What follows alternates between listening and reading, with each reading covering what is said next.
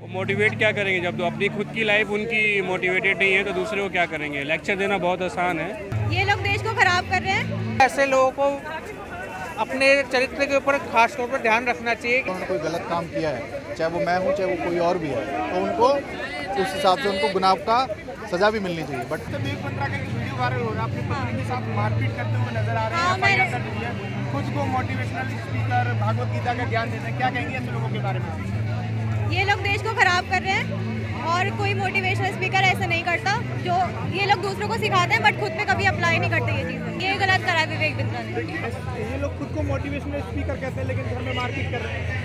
Sir उसका कोई निजी व्यक्तिगत कुछ भी हो सकता है उसका आंतरिक मामला उसका अपन क्या हासिल कर सकते हैं ना अपन कुछ कर नहीं सकते ना उसको किसी तो इससे लोगों पर क्या फ़र्क पड़ेगा? खुद लोग आइकॉन मानते हैं क्या लगता है उनकी लोकप्रियता में गिरावट की है सर अपने देश का एक व्यक्तित्व है वो पर्सनालिटी है तो उसका तो इम्पैक्ट प्रभाव पड़ेगा ही। देखिए अभी तो अभी आरोप लगे हैं लेकिन अगर आरोप भी लगे हैं तो वो कुछ ना कुछ तत्व के साथ लगे होंगे।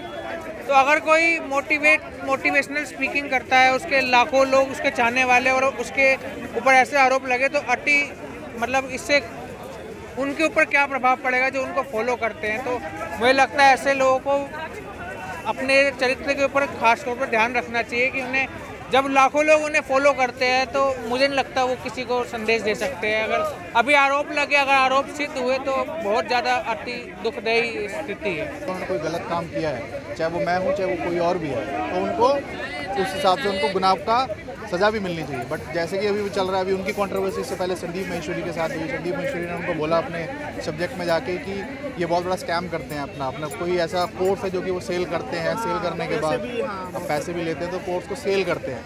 बट अल्टीमेटली संदीप महेश्वरी कह रहे हैं कि विवेक बिंद्रा जी को प्रॉब्लम है मुझसे कि मेरा बिज़नेस को है प्रॉब्लम हो रही है उनसे। मैं इतना वो ग्रो नहीं कर पा रहे हैं, इतनी वो पेमेंट नहीं ला पा रहे जितनी मैं कर पा रहा हूँ। फिर अब थोड़े दिन पहले विवेक बिंद्रा ने कल परसों एक वीडियो जारी करी है, अपने चैनल पर एक इंटरव्यू दिया है।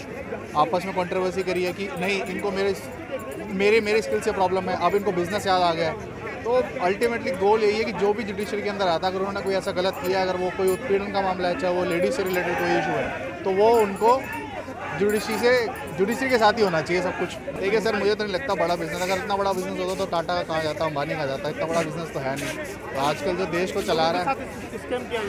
नहीं हाँ बहुत सारी वीडियोज़ आ रही हैं। जो लोग अपना ट्रूली चीज़ बताना चाहते हैं जो बहुत सारी वीडियोज़ आ रही हैं तो उन लोगों को जाके पूछना चाहिए कि अल्टीमेटली उनको क्या दिया गया किस तरीके से बताया गया। उनको बहुत सारे डिस्क्रिप्शन भी आए हैं स्लिप्स भी आई हैं कि हमसे जो है पैसा मांगा जा रहा है चौंतीस हज़ार पैंतीस हज़ार पचास हज़ार। अगर वो नहीं है तो ठीक है, अगर है तो ठीक है बट वो अल्टीमेटली डिसीज़न तो पर्टिकुलर पर्सन का है ना, जिसने पेड किया अपने आप को। वो मोटिवेट क्या करेंगे? जब तो अपनी खुद की लाइफ उनकी मोटिवेटेड नहीं है तो दूसरे को क्या करेंगे? लेक्चर देना बहुत आसान है बट पर्सनल लाइफ में अगर व्यक्ति हंड्रेड परसेंट दे पाता है तो आई थिंक वो मोटिवेशनल इंसान है। I think according to me is not a right person Bhagavad Gita का ज्ञान देते हैं कुछ युवा वो अपना आइकॉन मान लेते हैं। बहुत सारे मोटिवेशन देखिए उनके जितने भी सेमिनार्स या फिर जो भी एग्जीबिशन होते हैं ना वो सब टिकट बेस होता है। वो फ्री में क्यों नहीं करते? तो डैट इज़ ए बिज़नेस है उनका ठीक है? बिज़नेस एक तरीके का है बाकी कुछ नहीं है। अब लोगों को ये समझ में समझना चाहिए कि जो आप, हमारे जो, हम जो हम जो लोग यंगस्टर हैं उन्होंने उन लोगों को सुनने जाते हैं। आप विवेक बिंद्रा हो गए, संदीप माहेश्वरी जी हो गए,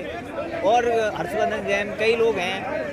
तो वो बातें जो बताते, हम लोग मोटिवेट होते थे, लेकिन जो खुद अप्लाई करना चाहिए उन्हें, एक बार अपने ऊपर भी उन्हें ये चीज़ अप्लाई करनी चाहिए। अभी आ, उनकी पत्नी से जो झगड़ा हुआ या उन्होंने एफआईआर की तो ये चीज़ें कहीं ना कहीं जो वो स्पीच देते थे या लोगों को लड़कों को यंगस्टर्स को जो मोटिवेट करते थे वो कहीं ना कहीं ठेस पहुँच रही उस चीज़ को। और मुझे लगता है कि आगे ऐसा इन लोगों की छप जो है वो गलती होती जा रही है। आप खुद पे अगर अप्लाई नहीं कर सकते हो तो फिर आप दूसरों से क्या एक्सपेक्ट कर सकते हो?